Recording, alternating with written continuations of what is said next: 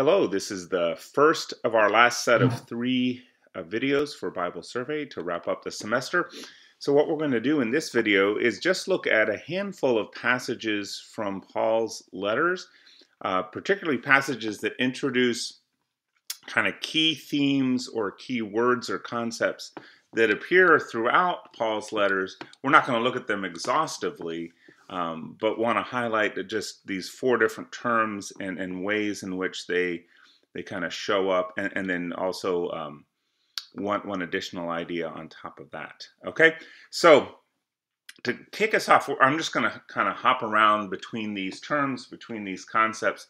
The first term uh, that I want us to focus on, and I, have made a little sign for us, is the Greek word charis uh, which symbolizes, which means grace or mercy or gift. So charis, grace, mercy, gift. Um, this is, if, if there's any idea that Paul, Pauline theology, Paul's ideas, uh, you know, are, are really centered upon, it is it is this idea of grace. Um, one of the key ideas that Paul kind of develops throughout several letters is this idea that we, we do not earn God's favor or God's mercy, or we do not earn salvation through our behavior. Like it is not a matter of merit that we work hard enough, and, and if we do enough good works, and it somehow outweighs any bad you know things we do or sins that we commit. That somehow, if if you know if we get an 88 on the test of life in terms of doing good things, then God will allow us into heaven. If we get us, you know, 59, then we're going to go to hell or something like that. But but he he has this idea of God's mercy. God's mercy. God gives us forgiveness. God gives us mercy. Now we've seen evidences of that throughout the Old Testament, right? I mean, Hesed really is kind of an Old Testament or Hebrew version of kind of the same idea that God's faithful love to Israel is in spite of their bad behavior. Like, and, and it, it, their their love, their place in God's covenant is not predicated or built upon um, their ability to keep the covenant, but but God's mercy to them. So there's there's hints of for sure of, of grace all throughout the Old Testament, but Paul really develops this idea. So I'm just going to read a, a, couple passages that uh, kind of highlight this, and, and, then we'll we'll move to the next term. So. Um, so Paul in Romans, Paul has been talking about kind of all of us. Gosh, you know, Jew, Gentile, all of us are sinners. All of us fall short of perfection. All of us fall short of the measure that God would have for us. So, out of that, is there any hope for any of us, right? Because we're all hopelessly sinners. Um, and, and, in Romans 3, he says this There is no difference between Jew and Gentile, for all have sinned and all fall short of the glory of God. But all are justified freely by his grace, by his charis through the redemption that came by Christ Jesus. God presented Christ as a sacrifice of atonement, and atonement is this idea of making one or reconciling a relationship. You know, let me read that again. There is no difference between Jew and Gentile. All have sinned, all fall short of the glory of God, and all are justified freely by his grace, by his mercy. Right? So so that's that's kind of Paul articulating this idea I want to jump over to Romans 5 and kind of repeat the concept for us here. Um, you see, at just the right time, while we were still powerless, while we were still unable by our own efforts to do what God wanted, while we were still powerless, Christ died for the ungodly. Very rarely will anyone die for a righteous person, though for a good person someone might possibly dare to die. But God demonstrates his own love for us in this while we were still sinners, Christ died for us. Right? So, again, going back to Hesed, you know, it's not a matter of if you do these things, then I will love you. But no, I have chosen to love you. I have chosen to show you mercy, and that mercy cannot be stopped. That mercy is is unrelenting. Is the, the Hesed love that I have for you. And, and here we see Paul developing that as well. God demonstrates his Hesed for us in this. while we were still sinners, Christ died for us. For if while we were still God's enemies, we were reconciled to God through the death of Jesus, how much more, having been reconciled, shall we be saved through his life? Right? So so this idea that because of our sinfulness, because of our brokenness, it is as if we were enemies of God from our end. But God refuses to treat us as enemies, but instead treats us with mercy and forgiveness, and that that is um, the pinnacle of that mercy is is Christ's sacrifice for us, Jesus' sacrifice for us at the cross. Um, just going to read one more passage related to uh, this idea of mercy. Again, we could find this um, all throughout Paul's letters, but but this is now jumping to Ephesians. For one time, we, all of us, were by nature, we were deserving of wrath. Like we deserved a, a just being, a just God who was in control of all things, had every right to look upon us with wrath. We were beings deserving of wrath, but because of God's great love for us, God, who is rich in mercy, made us alive in Jesus, even when we were dead. I'm going to come back to that alive in. That that's a key idea. Um, but for it is by grace we have been saved through faith, and it is not from ourselves; it is the gift of God. By grace we have been saved through faith. It is not by our efforts, by our works, so that no one can boast. Right? It is the free gift of God. So that that is that that becomes kind of a central doctrine. Uh, you know, 1500 years later, Martin Luther in, in the you know in Germany in the 1500s is going to sort of rediscover this idea and highlight it yet again, kind of launching the Protestant Reformation. But the idea being that that it is God's gr- grace to us is free, unmerited gift right? Like we, we do not do anything to deserve God's love, to deserve God's favor, to, to earn salvation, but it is given to us as gift. So that's this idea of, of charis, of gift. Okay? Um, a second term that I want to talk about is an I, a term called kenosis. Okay, so I again made a little uh, sign for this kenosis or self emptying kenosis, self emptying. And so here's where we see this playing out. So in, in the letter to the church in Philippi, um, Jesus or Paul says this, and, and, he's talking about first how we ought to act towards one another, but but he anchors that in Jesus, and then he makes a very interesting and, and provocative statement that well, let let me read it and then we'll comment on it. So he says, Make my joy complete by being like minded, having the same love, being one in spirit and one in mind. Do nothing out of selfish ambition or vain conceit. Rather, in humility, value others above yourself, not looking to your own interests, but each of you to the interests of the others. In your relationships with one another, have the same mindset as Christ Jesus. And this is this is where kenosis comes into play. Who, being in very nature God, did not consider equality with God something to be used to his own advantage or grasped onto. Rather, Jesus made himself nothing by taking the very nature of a servant and being made in human likeness. And being found in appearance as a man, he humbled himself by coming, becoming obedient to death, even death on a cross. So this passage that I, the, the last section there, kind of starting with the who being in very nature God, is sometimes called the Christ hymn. That's a term that you'll you'll want to know um, for the final.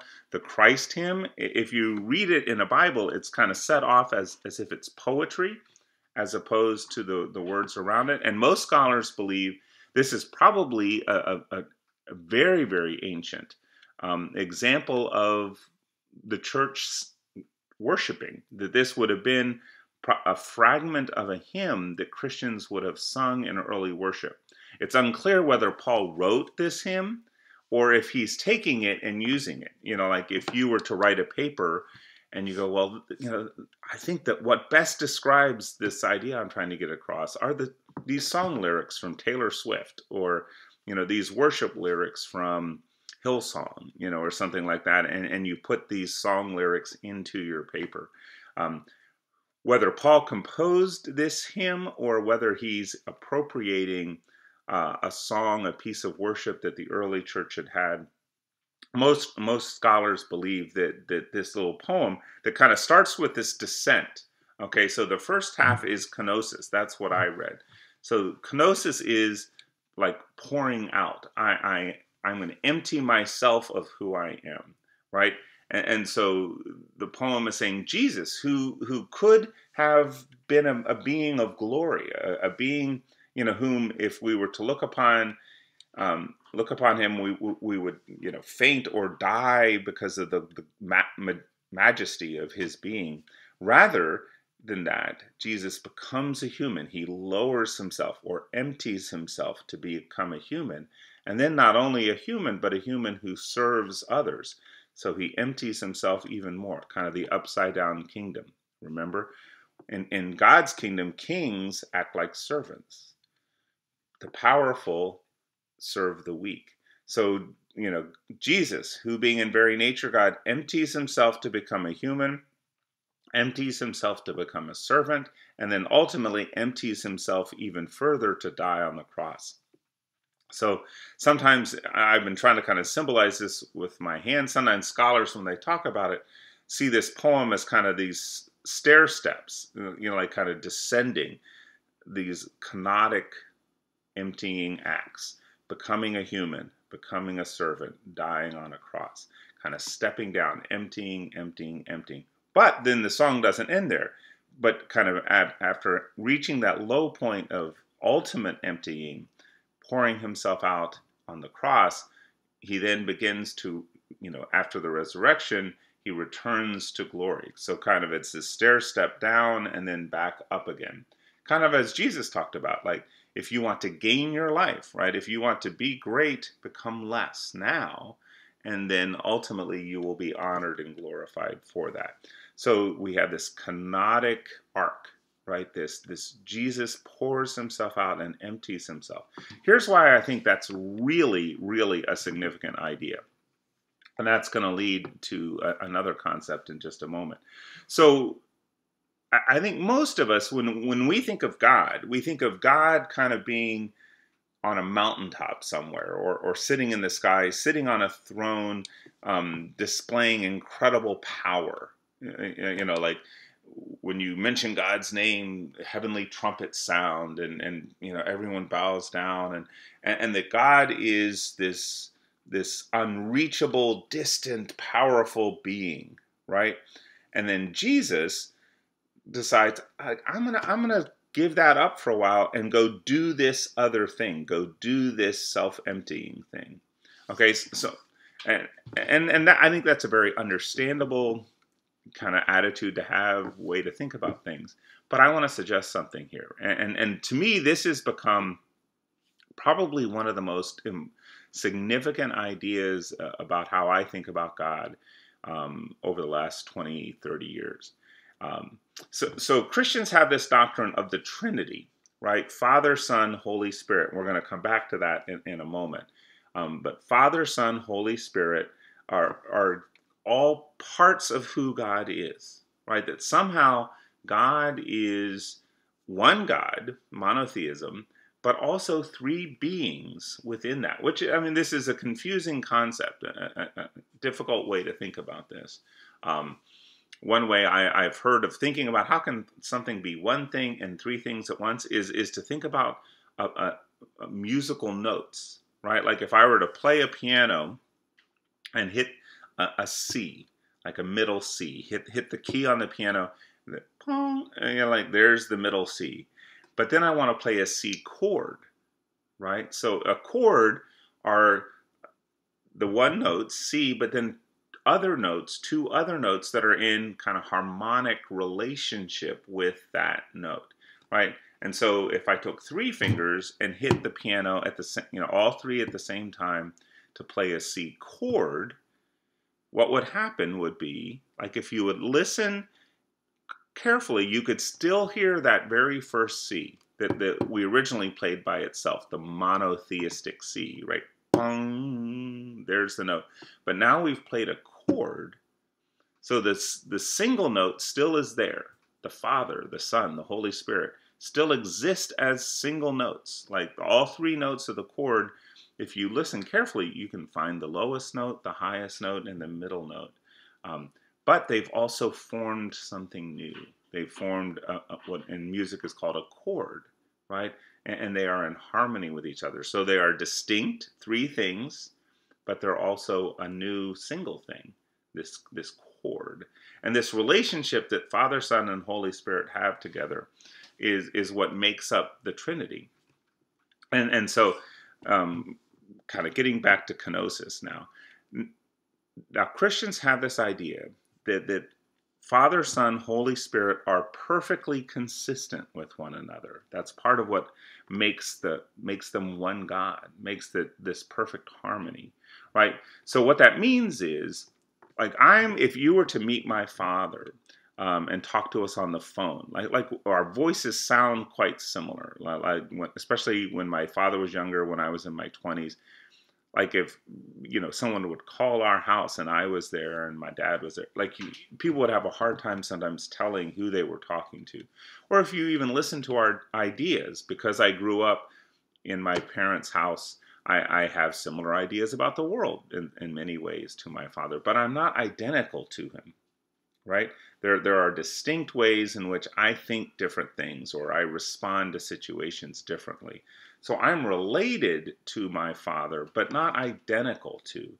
In the Trinity, Christians believe that while there's the Father, the Son, and the Holy Spirit, they are perfectly in union with one another, which means that, like, the Son doesn't just sometimes act similarly to the Father, the Son always does. That they have perfect, they share the same essence. So if if there are a thousand situations where God the Father were to encounter something and Jesus the Son, 1,000 out of 1,000 times, they would have the exact same response. Not just similar responses 80% of the time, but identical. That, that how Jesus acts, how Jesus responds to people, how Jesus um, lives his life is perfectly consistent to who the Father is. Okay, so that that's a basic Christian belief. Probably, if, if you've grown up in the church, you've heard of the Trinity before. You've maybe even heard that idea spelled out a little bit. Like, okay, sure, that makes sense. Here's why this is a big thing. So, so if we think God is like God's essence is this glory, this power, this sitting on a throne somewhere, um, you know, demanding or expecting all creatures to kind of come and worship. Um, then when Jesus acts in all these self-emptying kenosis kind of ways, that's that's a surprise.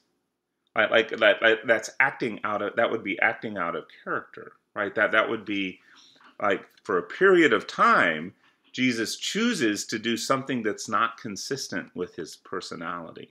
I'm going to act in these self emptying ways, but really, I'm like God the Father, and, and I want to sit on a throne and have people serve me all day long. But for a little while, I'll go to earth and do this. Well, the, the idea of the Trinity is well, that's that's impossible, right? So so here's where this is a big deal. Um, if hmm. Jesus does this, if this is how when hmm. God enters the world, God enters the world through kenosis, through emptying, through pouring God's self out, then what that suggests is that's God's basic personality, right? That the, the God the Father is not a God who sits distant and in glory, desiring to be served and worshiped, but it, but a, that God the Father also is a God of kenosis. That the very nature of God is to empty God's self in love, to pour God's very essence out to love and to care for others. And I think that uh, we could spend more time unpacking that. I'm not going to sit with that too much more at this point. But, but begin to think about that. I encourage you. Like, think about all the ways in which um, we define power, all the ways in which we defined good or God, um, and, and how many of those are kind of tied up in you know pictures of power that look very worldly pictures of power that look like an uh, an army that can't be defeated or a ruler that cannot be questioned or um, somebody who who demands that others serve them and, and then think about this kenosis think about well what if not only did jesus for 33 years live a life of self-emptying what if by doing that, what Jesus is saying, this is who God is. The kind of God that made the world is a God of kenotic love, a God of who who pours God's self out in love for others. We're going to return to that idea at the very end of, of this video. But I, but I want you to think about that. That may not seem like, okay, yeah, I get it, Steve. I'm not quite sure why you think this is such a big idea. But I promise you, if you allow that to kind of sink into your theology a bit, it really, really can be world changing. It certainly has for me. Um, so, another idea, and, and, we alluded to this already um, from the. Um, from the Ephesians pas- passage that we read, this idea that we are in Christ. Okay, so this is sort of the third term that, that we are in Christ in the book of Colossians, Paul will say that throughout all history, there's been this great mystery that angels, that, that all, all beings long to know what is the mystery of the universe. And here it is. Here's the, the, the secret to everything Christ in you, the hope of glory. Christ in you.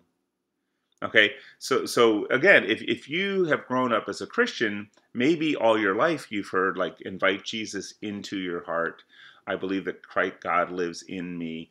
And, and so for some of us that have grown up in the church, that that's not you know like, oh well of course, you know, isn't that just the way it is? But think about that. I mean, think about what Paul is suggesting here. He is not suggesting that God lives out here somewhere, and, and, we try to follow God as best we can. We try to work as hard as we can to live up to who God is. I, here in this coronavirus time, there's I've, I've been watching a lot of ESPN, and, and, and ESPN is doing. They just started last night uh, a documentary series on Michael Jordan um, and, and the Chicago Bulls. And Michael Jordan, you know, was, was almost certainly the, the greatest basketball player that has ever lived. This unbelievably talented, driven basketball player, right? And so, say I want I want to be like Michael Jordan as a basketball player. So what what I would have to do is um, a be born again with a completely different athletic giftedness than I have. But given who I am, I'm I'm trying to be like Michael Jordan, right? So I would I would watch videos of, of how he learned how to play basketball and I would copy that. I would try to dress like Michael Jordan. I would if I were shooting a basketball, I would try to shoot it as best I can like Michael Jordan. I I don't jump very well. I would try to okay, how can I improve my athleticism to become uh, you know a better jumper so that I could I could dunk a basketball like Michael Jordan came. But I would be limited profoundly by the fact that I am not Michael Jordan. You know, like where he, he could leap 40 inches off the ground, I can jump 10, 12. You know, like whereas he had this uh, incredible speed and eye hand coordination. I don't. I move kind of like molasses and, and am fairly clumsy. Like so my efforts to emulate Michael Jordan are always going to be woefully short right? Just as, just as our our efforts to imitate God, our efforts to live like Jesus, to look like Jesus, like even if we hung out with Jesus every single day, and like I'm gonna I'm gonna be as loving as that guy is, I'm gonna be as gentle and patient and kind as Jesus is. Yeah, but I'm kind of a bastard, really, when you get down to it, you know. And, and uh, day after day, I, I just fail. I can't do it. I can't be it. So part of what Paul is suggesting is this new thing that rather than our efforts to somehow you know, follow or align with or measure up with a God, a, a Jesus that is inaccessible to us. That God has come and dwells in us.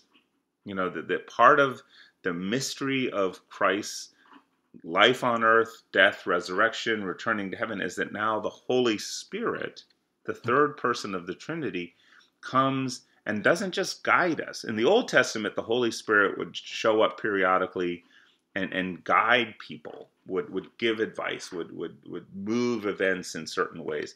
But now, this idea that the Holy Spirit actually comes and dwells in us, Christ in you, the hope of glory, that somehow when one becomes a Christian, one becomes indwelt by the Spirit of God in a way that begins to change us. In Second Corinthians, Paul says that if we are in Christ, we are being transformed into God's likeness. Likeness, right? That somehow magically I am not just failing hopelessly in my efforts to become as good at basketball as Michael Jordan is, but somehow, if Michael Jordan were the Holy Spirit, that somehow Michael Jordan has come and, and is dwelling in me and slowly transforming me into a being that can do what Michael Jordan does. In this case, into a being that can love like Jesus loves, that can that can relate to God like Jesus relates to God. And this idea, um, the early Christians had a term for it called theosis, or participating in the life of God. That somehow um, what Jesus makes available to us is not just forgiveness that that we okay you're going to still live your totally human life and when you die you know that'll that'll be that. But that somehow no we participate in god's life that we um, that god welcomes us. If the trinity is a dance sometimes people describe father son holy spirit kind of holding hands for all eternity in this dance. And I'm going to give you a term for that in just a second. That what theosis suggests is that the Trinity kind of opens up, you know, like picture a square dance or a circle dance or something, and and and like, oh, do you want to join in? And and let's make room for you. And they open their hands and and allow us to enter in, and that we then join the dance of God's love. You, you know. Um, the fourth term for the day is this term, term perichoresis, God's relationship of love in the Trinity. So if theosis is we participate in God, what is it that we're participating in? Perichoresis, this perichoretic love. And, and so I'm going to kind of bring a few of these terms together now. So what is what is perichoresis? What does that look like? So imagine um, two, three beings that are in relationship and they're all defined by kenosis, right? Like that every morning I get up and all I think about all day is how can I pour myself out to love my wife? You know, and, and, and my wife also, she is a kenotic lover. Like, like she mm-hmm. wakes up every moment, every morning going, how can I pour myself out today to love Steve, to love my husband? And, and that so all day long, each of us are, are just what can I do to help you? How can I serve you? How can I pour myself out to, to make you um, happier, to make you better? But then I'm never emptied. It's not like, oh, at the end of the day, I, I, I've given so much of myself away that I'm empty because my spouse is always pouring herself into me. And, and that so I'm always emptying, but never empty. I'm always pouring out, but always being filled. And perichoresis is the idea that that's what the Trinity is doing for all eternity. That the Father is pouring himself out in love toward the Son and the Holy Spirit. The Son is pouring himself out to the Father and the Holy Spirit, the Holy Spirit to the Father and the Son. And, and it's just kind of like, I'm always, do, do I have any money? I've got, I, I've got a five in each pocket. You know, like, and I'm always giving this five dollars to the son, you know, son, giving five dollars to the Holy Spirit. But now I'm, but I'm not out of money because they're in turn saying, well, I happen to have five dollars too, and, and let me give it to you. And and so we're they're always emptying, always being filled, always pouring out in love, always being filled in love, and that's this perichoresis. So when when Christians would talk about kind of participating in Christ, that, the, the, that Christ is in us, that somehow uh, uh, maybe another image of this if if this love is kind of like an electrical current right? You know that that is always flowing from father to son to holy spirit. This this emptying love is just this energy this flow going from one to another one to another. Um, and if you were to take hold of eh, you know two electrodes right? You know that, that are live wires that electricity is going to pass through you. With electricity, well, that might well kill you, right? You know, if you're struck by lightning and passes from the ground to the sky and, and it goes through your body. But in this case, it's this beautiful sense of participating in God's love. That, that we don't only look at it or try to model ourselves after it from a distance, but that somehow the dance opens up and we are able to join in, and that the love of God flows through and in us, you know, from Father to Son to Holy Spirit, but also from us out to others. And, and that as we try to live lives following God, we're not just doing it on our own efforts. We're not just trying the best we can to somehow be slightly better versions of ourselves today than we were yesterday, but but that God has has as as is dwelling in us, Christ in you, the hope of glory. So these are those the, these four terms. Okay, so th those are four big ideas that Paul kind of introduces and develops. They become really significant in Christianity as time goes on. Uh, two other ideas uh, that I, I just want to leave us with. Um, one is is sometimes called the universal Christ, right? So so did did Jesus come just to help individuals, right? Did Jesus die uh, on the cross just to save this sinner, that sinner. You know, like let's go through the room one by one. You know, is is salvation is God's work in the world just about individuals? It certainly is about individuals, but the concept of kind of the universal Christ uh, suggests that, that that Jesus is is more than that. That Jesus is that God's work in the world through Jesus is much more than just the salvation of individual souls. And, and to illustrate that, I, I want to read a passage from Colossians and then uh, uh refer to, to one in Second Corinthians as well. So the Son, Jesus, is the image of the invisible God, the firstborn over all creation. For in him, Jesus, all things were created. Right? So here's the universal Christ at creation. Um, everything that is made, Jesus participated in its creation right?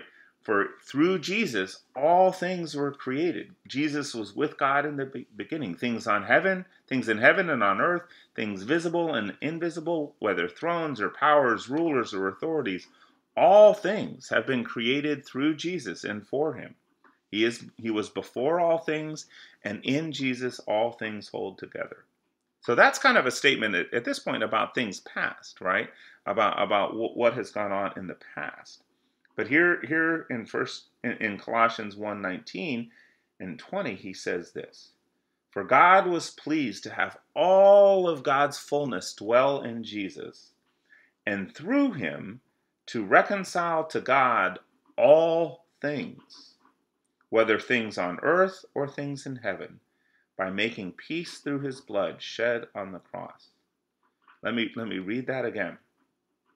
For God was pleased to have all of his fullness dwell in Jesus, and through Jesus to reconcile to God all things, whether things on in heaven or things on earth, um, by making peace through his blood shed on the cross. So, so what this is suggesting is that, that God's saving work is mm-hmm. not just about do you know where you're going to go to heaven when you die? It is about that, but it's about so much more. Um, think about this this time with the coronavirus. You know, living in a world where this, this tiny thing that we cannot even see is is you know bringing death and destruction and wreaking havoc to economies and individuals' lives and all around the world. That that in Christ, Paul is saying that eventually will be wiped away. That in Christ, um, all the things that are broken, all the things that are not shalom, right? If the story of God started with shalom, everything perfect, everything as it should be, and that all kind of fell apart in Genesis 3 and what follows, that, that what Jesus is about is not just giving us an escape hatch, like I'm just going to let this world go to hell, but I'm going to, if you're a Christian, I'm going to pull, you know, individual Christians out and you have an escape hatch or an escape clause. But saying, no, in Christ, everything is being reconciled to God everything is being renewed. Second Corinthians says, in Christ there is a new creation. All things. In Christ, God was reconciling all things to himself. Um, that, that, yes, our individual salvation is a part of what God's work is, but the universal Christ or the cosmic Christ idea from Paul suggests that, that it's so much bigger than that, right? that that all the things that are broken in our world, all the things that are non-shalom, that that you know, violence, um, environmental crises, uh, droughts, hurricanes, floods, diseases, that Christ is is is eliminating all of that. That ultimately, ultimately, already, but not yet. I mean, remember that. Like it started, but it's not finished yet. But that ultimately what Christ is going to bring about is the renewal and, and restoration of all things, not just some Christians will escape and, everything else will just continue to fall apart and be destroyed, but that ultimately Christ will renew all things. And, and in the last video of the week, when we look at the book of Revelation, we're going to see that as well. Uh, that's going to be a different author, but but a return to the same theme. Um, kind of one final uh, idea for today that sort of overarches uh, quite a bit of Paul's ideas is, is this idea that um, that Christ is still alive in the world through us. Now, like we already talked in this video a little bit about Christ in us, right? This the Holy Spirit coming and dwelling in us. The idea I want to talk about here is slightly different than that, and, and really Paul starts to talk about the church, right? That in some real way, if Christ is in us, then we and if Christ is in the Trinity, a, a trinity of relations, right? Like to be God is to be God in love, God in relation. That then to be Christians, to be the body of Christ, is, is to be people who together continue Jesus' life in the world, right? That we, the church is not just a place where Christians come and remember some great things that happened in the past. It's not a historical society. The, the church is not a place where we, we just sit around and tell stories about the good old days and, and this our hero Jesus and, and the great things he has done, he did in the past. But that really Christ's life lives on as we um, flesh out kind of Jesus's life in the world, both in how Christians love each other. You know, so so Paul will talk in, in First Corinthians. There's this extend, extended conversation about you are the body of Christ, and some of you have different body parts. Like fingers don't do the same things that ears do. Ears don't do the same thing that eyes do. And, and so we have different gifts. Some people are gifted at speaking. Some people are gifted at teaching or serving. And that's fine because you need fingers just like you need ears, just like you need eyes. You need a pancreas just like you need a heart. You need elbows the same as you need collarbones, right? And, and, that, that the body of Christ has a place for everyone and that everyone comes together and, and that Jesus' body in the world is not complete without all the parts, right? So, so that none of us are irrelevant. None of us are left out. You know, none of us are more or less important.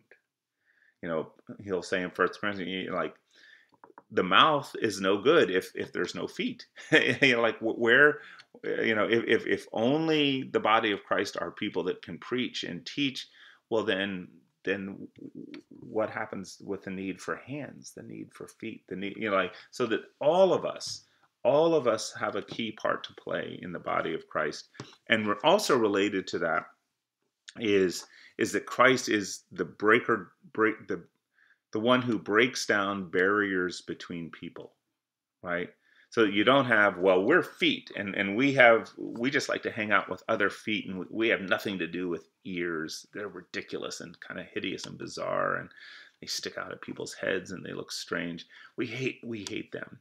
You know, like over and over again, Paul talks about that in Christ, um, God is bringing people together, removing barriers. There's n- neither slave nor free, Jew nor Greek, male nor female.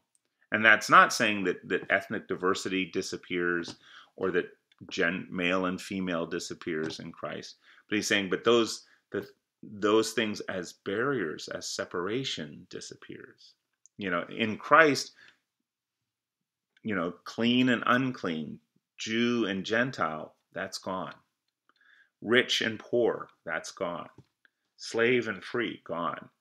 Male and female, you know, patriarchy, that's gone you know that, that what christ is doing is removing barriers and reconciling people together that just as god in the trinity is this perfect relational love without separation that that is what we can be too and that we're called to that. So those are just a few ideas from paul. Um, there's there's so much more. I mean paul's letters are very rich and, and there's a lot we can glean from them but that kind of gets us started for the week